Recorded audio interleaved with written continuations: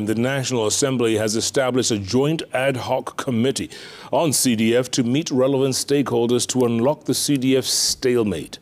The National Assembly will have Ainabkoi MP Samuel Chepkonga as co-chair of the 22-member ad hoc committee that will have members from both houses including Rarieda MP Otiende Amolo, nominated MP John Mbadi, Narok Women Representative Rebecca Tonkei, and Bungoma Women Representative Catherine Wambilianga are among members of the committee tasked with summoning relevant stakeholders to end the CDF row. Among those to appear before the committee are Attorney General Justin Muturi and Treasury Cabinet Secretary Professor Jugunan. The committee has 90 days to conclude its assignment shall we lament about CDF? For how long? For how long is the question?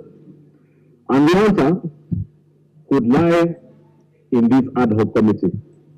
Because as the Chepkonga said as he seconded that motion,